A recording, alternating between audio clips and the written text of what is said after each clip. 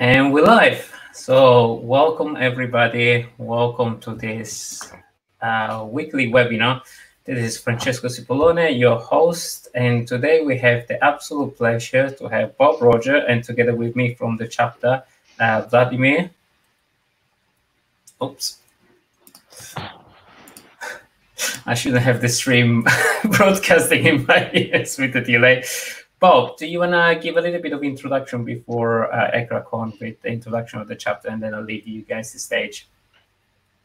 Sure. Um, so I, am I'm, I'm Bob Rodger. I've uh, worked in banking security for for too long to remember, um, about 20 or 25 years, um, and always been involved in delivering security solutions, um, building a proposition for the customer. And, and I guess that's really where I come from in, in, in terms of all security. Security shouldn't hit you in the face. It should be not seen and be um, and, and, and work well, right? Um, and I guess my background is I've always worked for banks and uh, banks with countries in the name, as I was saying to Francesco earlier on. Um, the current uh, uh, the uh, the current uh, organisation doesn't have a country um, in its name. It's a Bank of Butterfield, but we are based out of Bermuda and that organization's based in everywhere there's been a Bond movie and Sheffield. That's um, a great advertisement. yeah, yeah, absolutely. Yeah, the official bank of Bond. yeah, you know, we, you know, if you're looking for jobs, you got to go for for places that have got great locations, right? well, at least at least uh, you you close to the beach, wherever you want to be. yeah, it's right.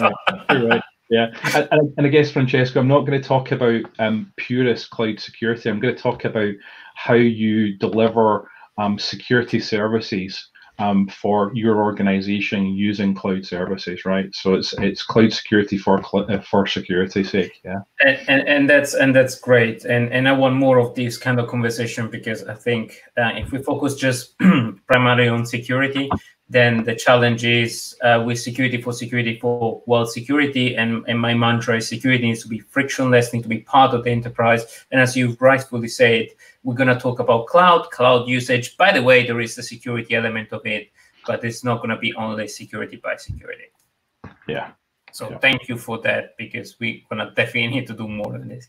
But let me introduce quickly the chapter for the folks that are online, and then I'm gonna leave you guys the stage.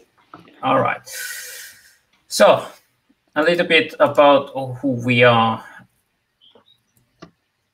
So we are the UK chapter. We're part of the uh, Cloud Security Alliance. is a global organization. is a global non-for-profit organization. For who doesn't know us, we are effectively the one that developed the ISO 27017 or 18 on the back of the cloud control matrix. is effectively our standard framework for cloud control. So this has been an industry collaboration uh, amongst um, various industry leaders. Uh, who we are as, as a chapter is effectively just a community of people uh, that uh, brings talks similar to this, does research, does outreach, does academic outreach, does events to effectively evangelize about the cloud security or evangelize about the use of the cloud in a secure way, as, as, Bob, uh, as Bob was rightfully saying. Uh, you can participate to us. So we uh, we are recruiting for more uh, people in this space, but I will uh, give some more detail at the end of the presentation. What we are effectively looking for is for people that help us with research and events, of course, networking and mentoring. You can follow us at, at CSA UK chapter or on LinkedIn group. Also, we have a LinkedIn page. Uh, if you search for Cloud Security Alliance UK chapter on LinkedIn, you're going to find us. And of course, on this YouTube channel that you are hopefully tuned in. and you're going to see all the other event, webinar, and other recording. But without further ado, I'll leave the stage to Bob. Cool. And Vladimir. So Vladimir Perfect. is part of the Cloud Security Alliance. He's our director of events. Uh, so, guys, have a nice conversation. Yeah, perfect. Uh, thanks, Francesco. So, to, to, you know, today uh, I have a pleasure discussing with Bob uh, on specific topic, um, not how to kind of go into the cloud as an enterprise, but how to use the the cloud-enabled security services for the security team's sake and how to make their work, uh, you know, better. You know, I, I still remember when I started in security 2000, 2000 actually, uh, that you know there was not really a cloud uh, at that time, and when a security team wanted to do any any improvements, any investment, it was always a hardware st- rack it, stack it somewhere, install it, think about the maintenance, think about the upgrades, uh, you know, install sec- you know secure application.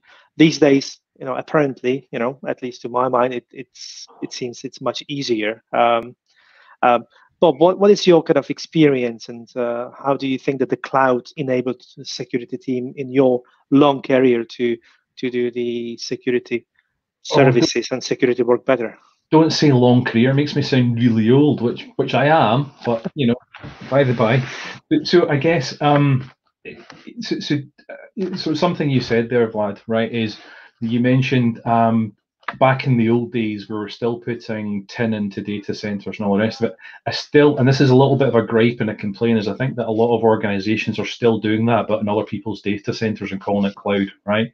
They're mm-hmm. still treating their servers like loved and cared for pets rather than a herd, and just doing what's right and uh, using today's tools rather than yesterday's manners. But so that was a that's a gripe, and then I'll go and answer your question. So so I guess um, for for me, it's really about enabling the business, right? So um, I, I work in a a medium-sized organization um, I, I, as many of the people in this call probably do, um, which means that you've got it's probably a smaller internal IT team, a smaller internal um, security function, and being able to deliver the huge business demand because the business demand is always going to be huge. You need to be able to scale it, deliver it at pace, and make sure that it's robust and fit for purpose. And back to what Francesco was saying is security has to be frictionless. So um, using cloud services to enable orchestration between multiple third parties who you're dealing with is, is one of the fundamentals. So cloud is a way of collaboration, both technically and both with people. That that's really one of the, the, mm-hmm. the foundation blocks for me, and, and, you know that's kind of like how we work together. Um, so, so hopefully that gives you an idea of, of why you go and do it. But then it's really about how do you get the value out of it and what are you trying to deliver. So for me security start it's, it's all about data. And the big best and most valuable data i have is intelligence. So if you build intelligence at the core of how you're trying to deliver security that may allows you to have faster better and more accurate decisions ideally before something bad happens yeah mm-hmm. So in effect, uh, could could you say, or could I kind of paraphrase that the cloud, with its characteristics of kind of on demand, uh, pretty much unlimited capacity, to to some extent, allows you to scale up or scale down the uh, ingestion of the data and analytics.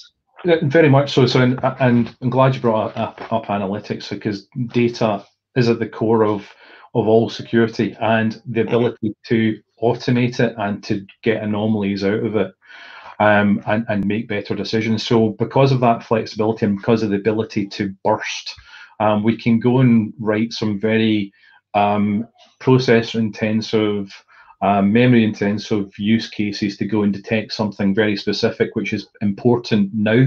It may not be important ne- uh, next week, but we can do it now, mm-hmm. spin it up, and find stuff and then get rid of it. Now, in a traditional on-prem or even hybrid environment, that's tougher to do. You know, so so that allows us the flexibility to react ahead of the curve. And you know, if it doesn't work, feel fast forward. We'll go and do something better, and there's very little cost to it. Yeah, yeah, yeah. Very, very good point. Um, I mean, one one challenge that you know we see as a cloud security alliance, and we we've got some series on, uh, you know, getting people jobs in cloud security, um, and in cybersecurity in general as well, is perhaps lack of uh, lack of perfect knowledge, if there is such term of perfect knowledge, but effectively knowledge how to use the cloud securely and cloud security services, obviously and most effectively. Uh, how how have you um, let's say, prepared your team uh, to to be kind of skilled and knowledgeable about the secure services that can go into the cloud and you know sure value. Yeah, it's, so that, that, it's, it's, a good question. It's not really one I, I, I consider, but it's a case of um, so, so the, the way that I've, I've, built a number of security operations capabilities previously, and, and you can do this, do them in a in a, a fashion which is kind of traditional SOC as a service. You know, you have a L1 and L2 and an L3, and you have increasing um, de- decreasing number of, of events going up those chains and lots of manpower doing things um, which means that on L1 you have less experienced staff, on L2 you have more and well, more and more and more. Um, it's not kind of the way I either build SOCs or the way they build security organizations, but, uh, and it does talk to a little bit of how and why we're I'm using cloud and API-rich um, environments. It, it's really to I hire people who are the best of the best, or try to, um, or people who have the ambition to be the best of the best. Um, they may not have. I don't think there's anything as perfect knowledge because let's face it, we're all learning every day, particularly in this space. Um, there's there's not a day that I, I I throw away a piece of knowledge from the what I learned yesterday, right? Um, because it, it really is a, a, radically changing field, and also my my understandings are constantly being challenged by the by what what's being found out in market. Um, to to to do that, we um, have a constant learning environment, and it's really about you know everything within the teams we build is around people, process, technology, governance, and metrics, right? So that that's across everything we deliver. The people component is the most important, and giving them the uh, the knowledge that they can try things, and if it doesn't work, it doesn't matter. Try it again. So feel fast forward mindfully, right? So make make sure you learn from the experience. The um, uh, the second part is making sure that people have the tools and the toys and the education to go and do it. So providing the uh, uh, free and easy access using cloud services um, to training and awareness and, and, and knowledge bases that they can leverage on a day-to-day uh, onto a day-to-day basis and also building network you know this is this is a this forum is a is a really good example of a network where you can call upon friends to find out how to do things. So I'd mm-hmm. urge people to go and use that network. Um, people, um, uh, not not just technology, are their are, are our best asset, right?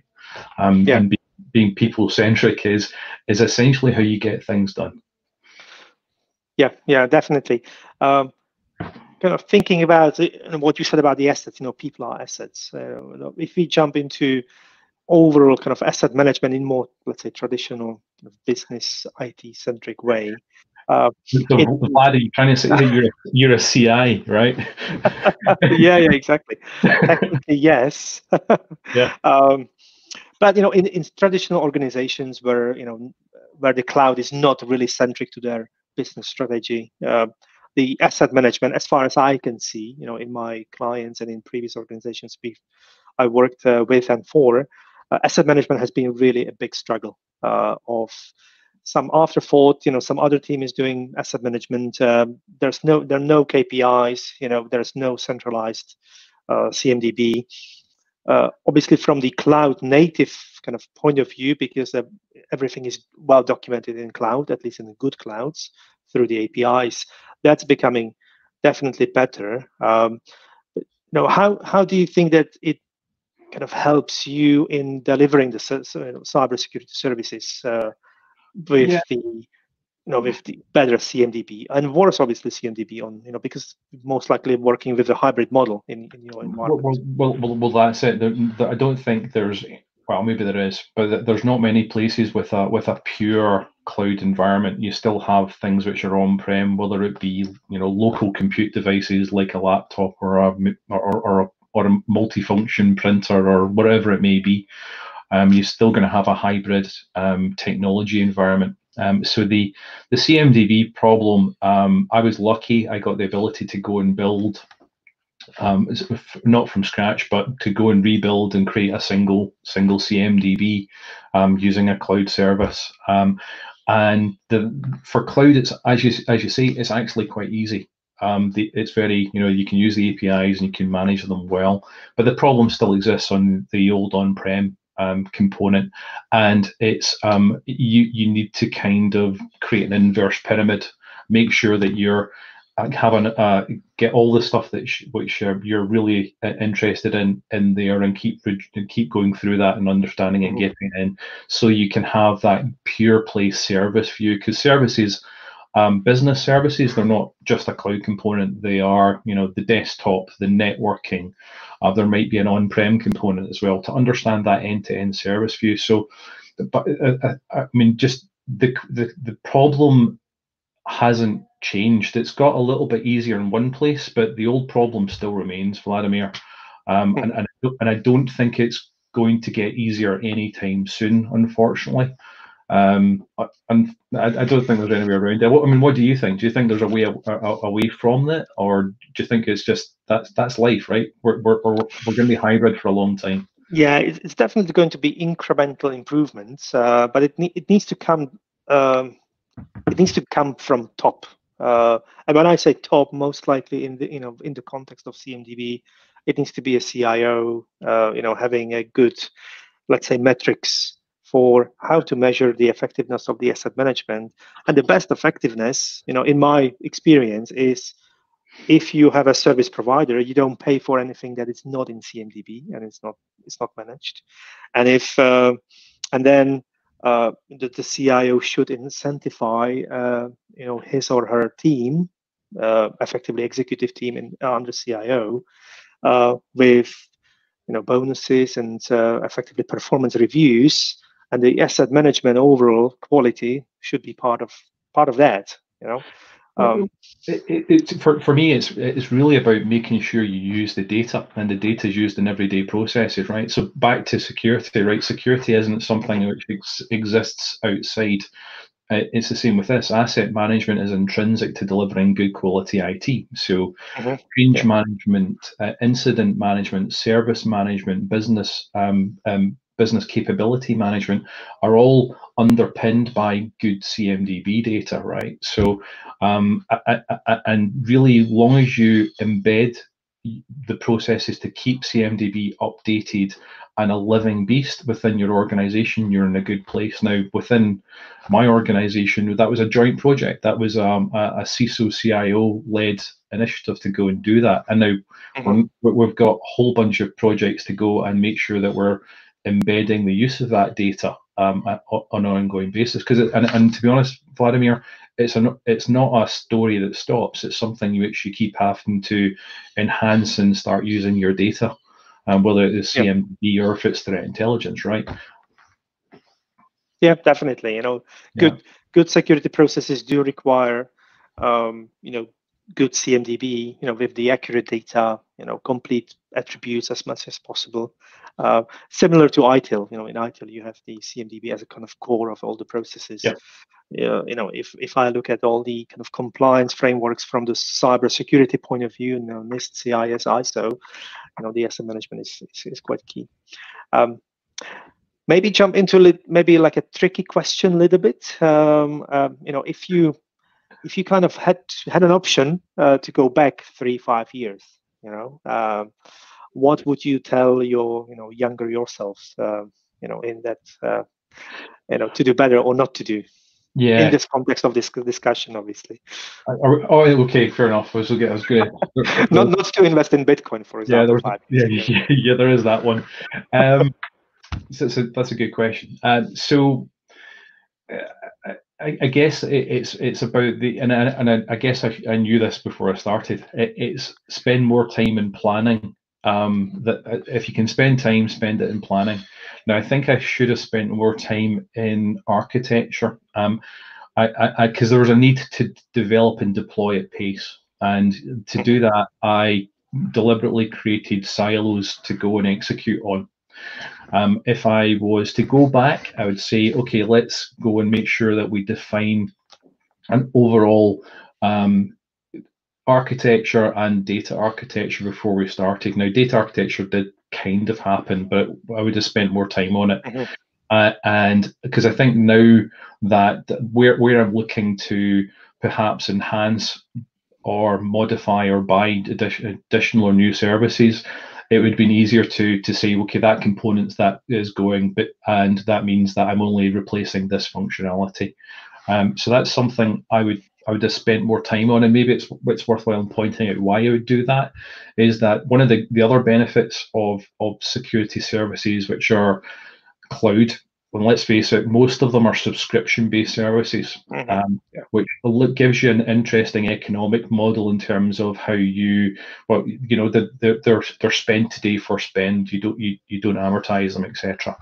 Um, so, but also means that, and, and, I've got this thesis, and you feel free to disagree with me, uh, which, which, we often do, is that. Um, security services have a half-life, right? So, so this week, um, security product X for doing endpoint detection response is awesome, and they have an investment curve and they tail off.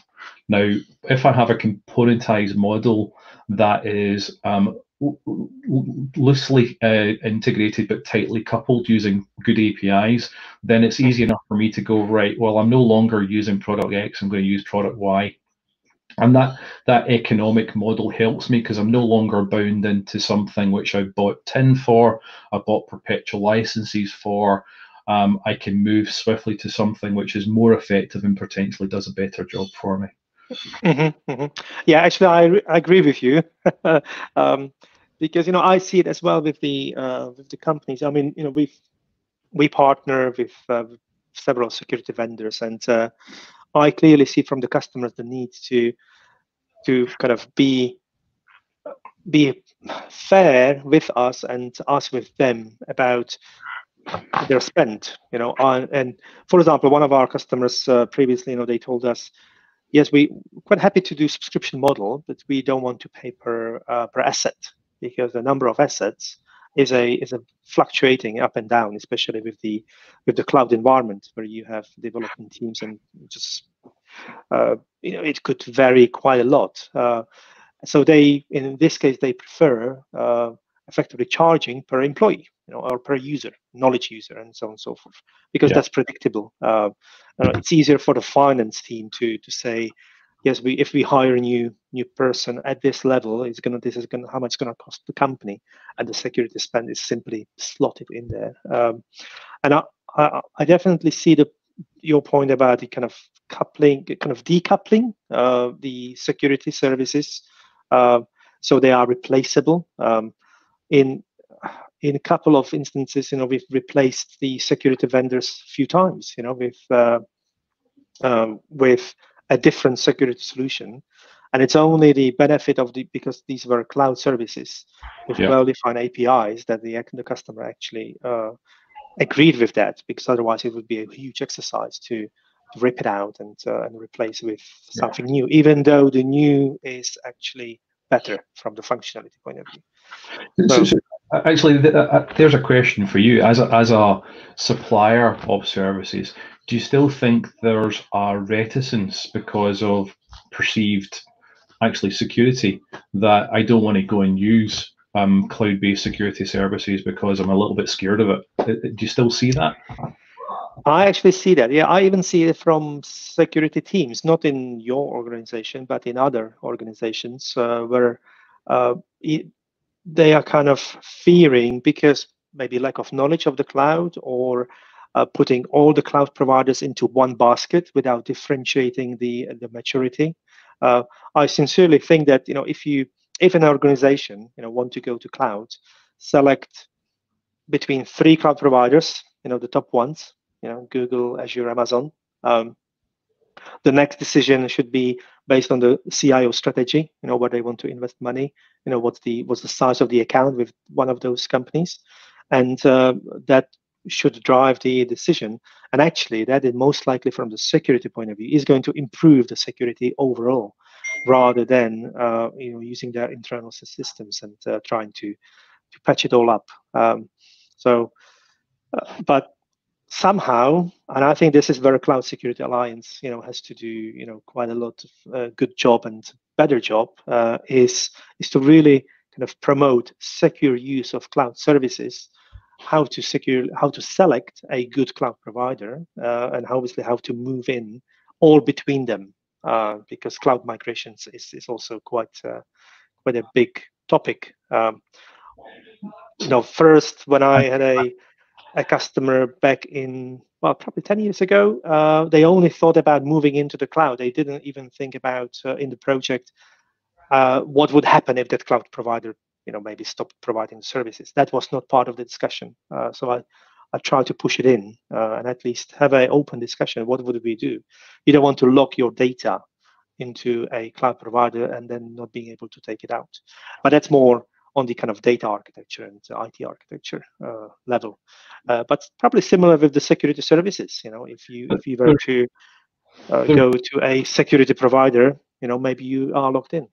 I, I don't I don't think there's any difference to be quite honest, right? So so there, there's, mm. there's only kind of one reason why you wouldn't go to cloud, and that's because you can't get back out of it, or there's something so secret that you don't want to be there. And uh, the only thing I've ever come across which kind of even hinted at that was trading patterns. You know, so algorithmic trading patterns actually have value uh, because they make banks money. Do, do you want that sitting somewhere? Um, I don't know. Uh, but but that that's that's a, a, potential argument. Um, I, I think that we can protect that to be quite honest. But but the, the, those are the kind of things you want to worry about is can you get the data back out because that's your secret sauce, right? That's that's really it. Um, and can you afford to get the data out? Um, is is a is a, another interesting uh, interesting point. Yeah. Yeah. Yeah, definitely. Yeah. Maybe before we uh, maybe before we close, um, one tricky question that uh, might be out of the blue. Um, you know, you are obviously presenting to you know to, to the executive board and to the uh, you know board of directors and you know with challenges you know strategy and all that. Uh, how do you think they see the move to cloud computing? Is is it actually really an interesting for them or is it just they sweep it under the carpet this is the cio and ciso's problem and uh, you know just deliver the strategy business strategy so I'm, I'm I'm not sure if it's sweeping it under the carpet, but I think it's a case of that you have as individuals, you know, the we have to build credibility and they need to trust. Mm-hmm. A, a, board's job is to have um, noses in, fingers out, right? They're there to govern and ask tough questions. Um, mm-hmm. and, and and the job of a CIO and a CISO who should be on the same level, not one reporting to the other, but we can have that debate another time, is mm-hmm. um, is to provide a balanced view of how um, what the what, what, we're trying to do from a technology perspective and how we're going to make sure that we don't lose life, body, and soul when we go and do it, right? And how to deliver security um, into the proposition. So, for for uh, just back to why I, we, we am trying to use a lot of, of cloud services, and when I say cloud services, yes, we do use you know a couple of those providers you mentioned, um, but uh, we also use an awful lot of um, software as a service, right? So the, I think the true value is when you buy functionality and capability, not necessarily tinning somebody else's data center. Um, and I, I, think that when you speak to um, a business person, a board of directors about buying capability and functionality because it provides you with agility, lower cost, and the ability to detect, respond, and recover faster, then it's it's not based upon technology. It's based on the business outcome. So, so I think it's a lot about how you use your language and what how you're explaining the proposition to the board, to the execs, mm-hmm. um, to make sure that they get it because they, they don't care about whether it is um, a, a, pink widget sitting under my desk or about something in a in a fluffy data center which I've never seen before. They want to know what is it secure? Is it going to make me money? Uh, can you do it better, faster? And can you make sure you, uh, can you give me a level of a surety that you're actually going to do it? Mm-hmm, mm-hmm. Yeah, and, and, and that, that's back to my old mantra: people, process, governance, metrics to to go and prove it all, right? Yeah, one, thing that you said, you know, kind of triggered uh, a response in my in my brain, and that's that's you know, they would be asking, is it secure? You know, um, but that's real. You know, what is secure for me could be completely different secure for someone else. So, I've you know, is it is it the case that you know maybe the board should and the executive management should say. Uh, what is the acceptable level of loss, for example, in in the company, and that is then yeah. driving the security investment. So, so, so it's an it's an interesting question, right? So, so risk appetite statements and all that uh, that kind of good stuff. Mm-hmm. Um, so right, okay, we've been in this industry quite a long time. Um, we we both know there's no th- such thing as perfect security, uh, because perfect security means that the system doesn't work, pretty much, right? It provides yeah, not usable, yeah, no functionality whatsoever. So it's what's an acceptable level of risk to enable the business mission. Um, the, the problem with risk appetite statements, um, the, uh, or uh, the way people express risk a lot of the time, is around how many times are you, are you going to crash the car? Um, and yeah, I don't want to crash my car ever. I want to define how far from the car in front I'm going to be and define um, a, a, risk tolerance which is low is reasonably practical. And that's an airline term, ALARP. Yeah. So I think people need to think about how they uh, measure risk, and that's a completely different conversation. Would probably take us a couple hours to have, but I think we need to, as an industry, get away from um, how we measure risk appetite um, to something which is a bit more rational and a bit more data driven and more about how you avoid a crash rather than how many times you crash right? Yeah yeah cool. Do you have any any perhaps closing remarks before we uh, hand over to francesco? Yeah. so, so the, the, my thesis is is about how we deliver um, really excellent world-class security at a lower cost using intelligence as the core part of the mission um, I, am kind of calling it lean security, but I don't think it's the right term. But so I'll maybe take a pop quiz later on with you. But it's about how do we deliver the same the this the, the same level of quality with less staffing, but a far greater degree of automation and reliance on technology to enable the people. Now, that doesn't mean that I'm doing everything automated or I even think it should be, but machine and man together, machine and person together, delivers a better security outcome than either one separately.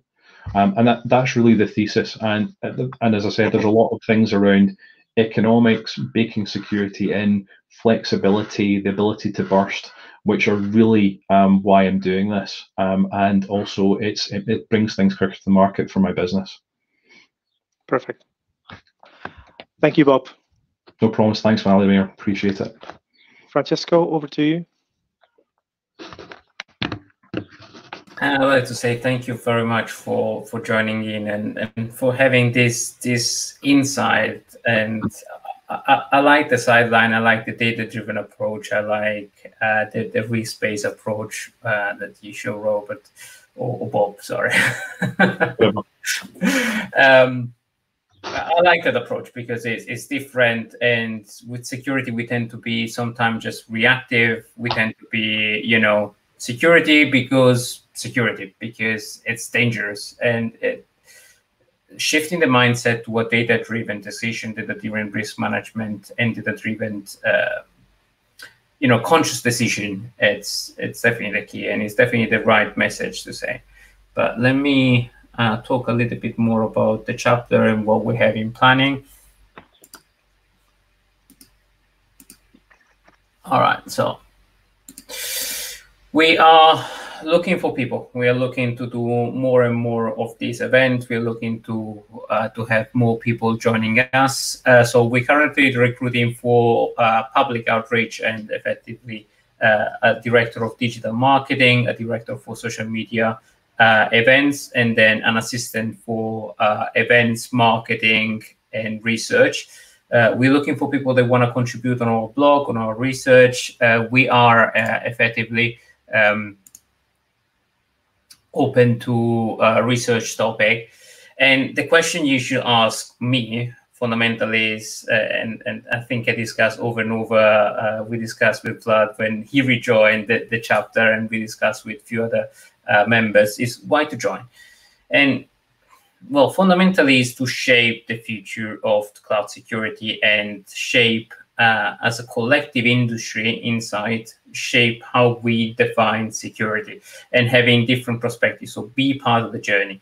And then, at least but not last, uh, I'd say the prestige of joining the Cloud Security Alliance that are the one that are shaping effectively all the standard, uh, that are creating the exam and effectively join in in a community of like-minded expert people where you can bounce and ping your ideas if you're a practitioner, if you're not a practitioner.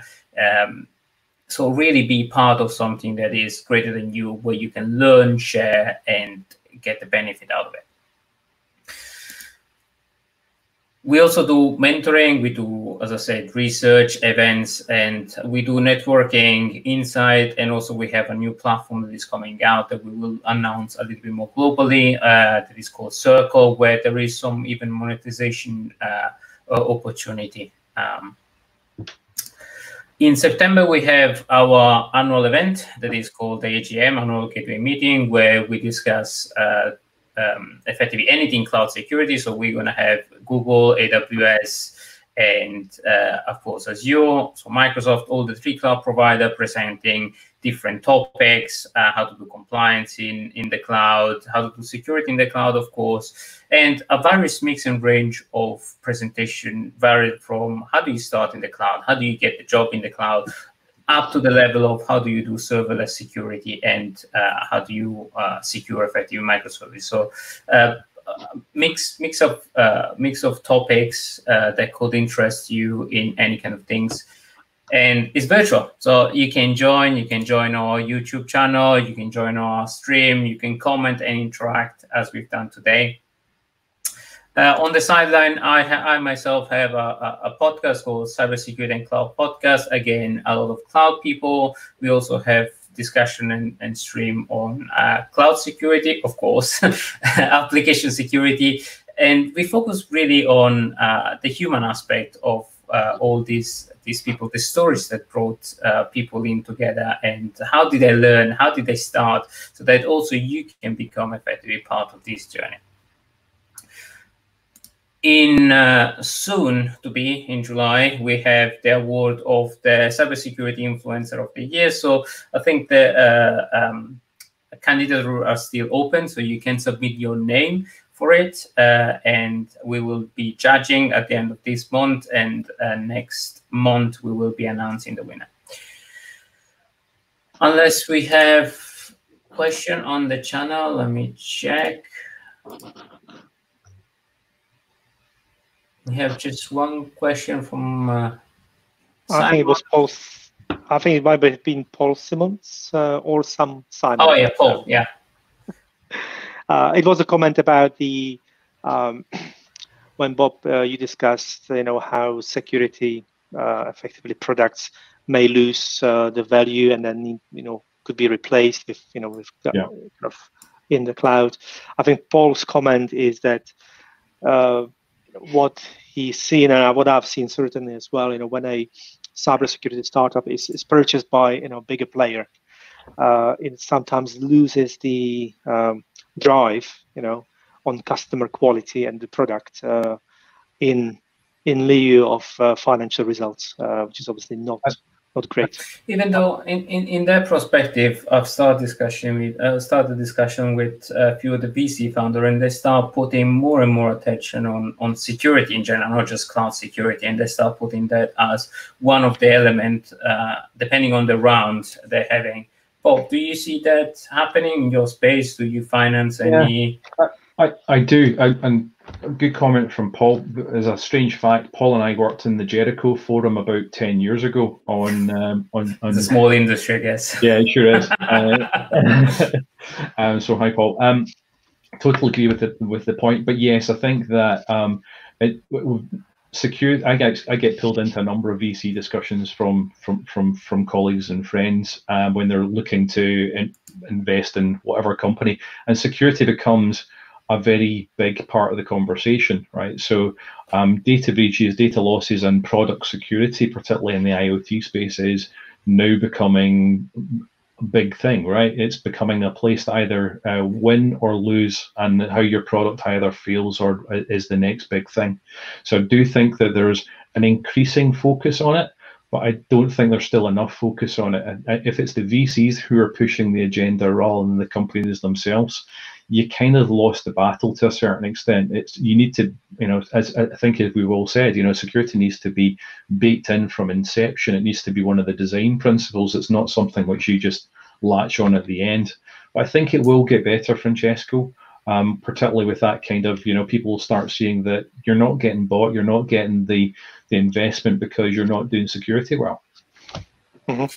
Yeah. But at the same time, if there is no need, if there is no drive uh, from external industry like regulation, it doesn't become as important. So that bumps up the importance of security in a specific element, and specifically for startup where your risk, your major risk that you evaluate is go to market and not be able to get the funding or not be able to effectively execute on your idea, uh, bringing the risk of actually not being able to execute as part of the security topics bump up the security, at least from a minimal layer. Because otherwise, you, you see scale up that all of a sudden say, well, we need security, let's hire a CISO. Now, all of a sudden, let's put in program a security. And I've seen them over and over. So I've seen plenty of scale ups that all of a sudden say, well, we hire a CISO and then security sorted.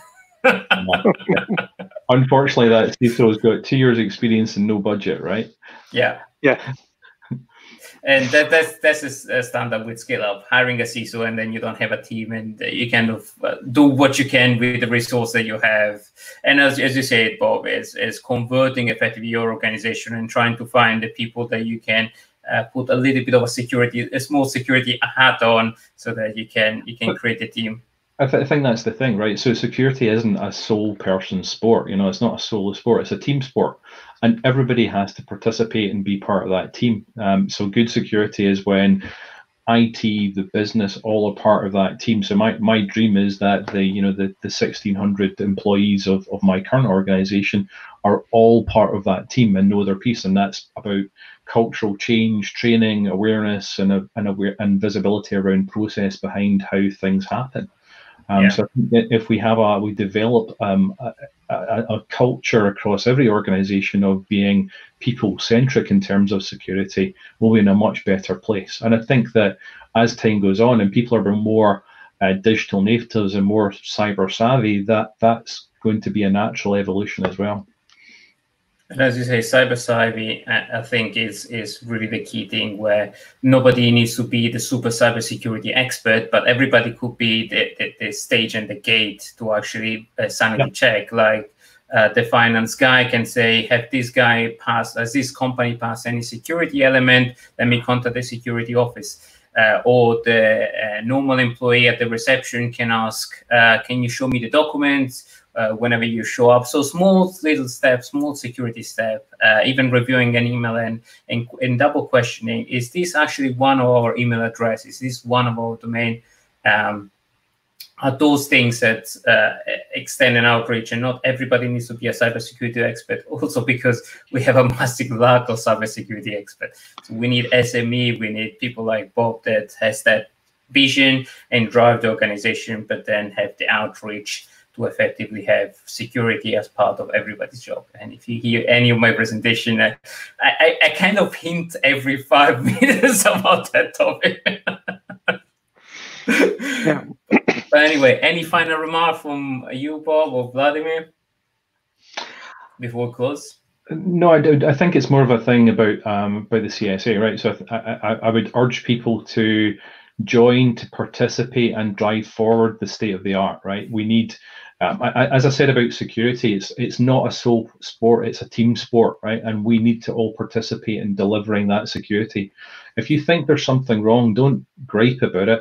Let's work and design how to go and fix it. So, contact Francesco, contact the guys at the CSA, and let's work out how we can deliver the future together.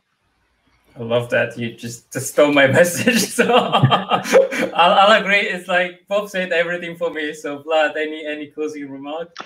Yeah, I, I mean, you know, uh, great event. Uh, I think good discussion uh, about the, you know, getting into the cybersecurity and obviously cloud security and all that is. Uh, I sometimes see that people are maybe a little bit afraid that you know it's a it's a complex area. I've never done it before, um, but you know everybody learns. Uh, I think that that's quite key. Uh, so if you are curious about certain things, uh, curiosity is the best uh, driver to learn something new. And cybersecurity, I can guarantee, you know, even after being in the industry 20 years, I'm still being curious and finding new things. So, uh, you know, don't be afraid. Join us. Fantastic. And just for the next event, we're going to have Daniele from CSA Global talking about the new upcoming certification that we are uh, effectively all hands on deck to actually standardize the compliance uh, and a compliance certificate for people so that you can be a, a, a, certified cloud auditor certified by the Cloud Security Alliance so that you know all the standard and you know the CCM and how they map together and how to evaluate from a compliance perspective the cloud environment. We're going to discuss, of course, as a broader on uh, the regulation between Europe, Asia, and US and next week, Wednesday next week. And then we're going to have a series on um, uh, the, the, usual uh, how to get a job in cyber, followed by a few other events uh, with uh, Jim Reavis from CSA Global, the director of CSA Global, as well as uh, a series on CCSK. So please grab your seat so that you can learn about the CCSK for free. And this is what we do here. Thank you very much, everybody. And again, I'd like to thank Bob for his time, Vladimir, and absolutely great insight. Thank you, guys. Cheers. Thank, Thank you. you. Cheers. Hey.